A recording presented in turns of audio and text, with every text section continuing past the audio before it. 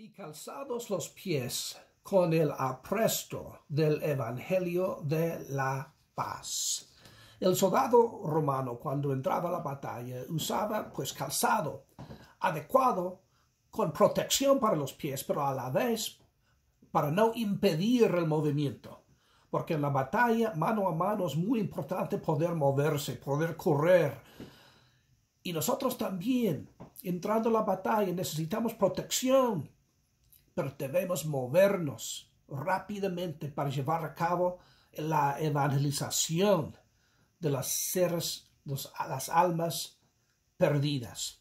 El Evangelio de la paz es nuestro casado en la batalla. Fíjate, el Evangelio de la paz. Predicamos un Evangelio de paz en la batalla porque nosotros con todo el corazón no queremos conflicto, queremos que los hombres tengan paz con Dios.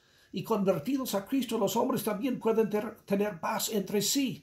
Entonces es un evangelio de paz, pero nuestro enemigo, el diablo y sus fuerzas de demonios, odian la luz y hacen guerra en contra de la luz. Entonces, aunque predicamos un evangelio de paz, vienen en contra de nosotros con sus tácticas y con sus engaños y, con sus ah, fuerzas calzados los pies. Hay una conexión en el Nuevo Testamento entre tus pies y el Evangelio.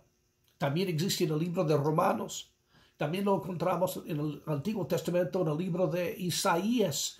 Hay una conexión entre tus pies y el mensaje del Evangelio las buenas nuevas. Porque usamos los pies para llevar el mensaje al lugar donde la gente está perdida, al lugar donde la gente desconoce. Ocupamos nuestros pies para movernos, para llevar el mensaje de la salvación, el Evangelio de la luz a la gente perdida. Y así ganamos la batalla. Calzados los pies con el apresto del Evangelio de la paz somos más que vencedores por medio de Cristo. Soy el pastor Mark Wright de la iglesia Evers Road Christian Church y esto ha sido otro versículo de victoria de la serie El escudo de la fe. Que Dios te bendiga.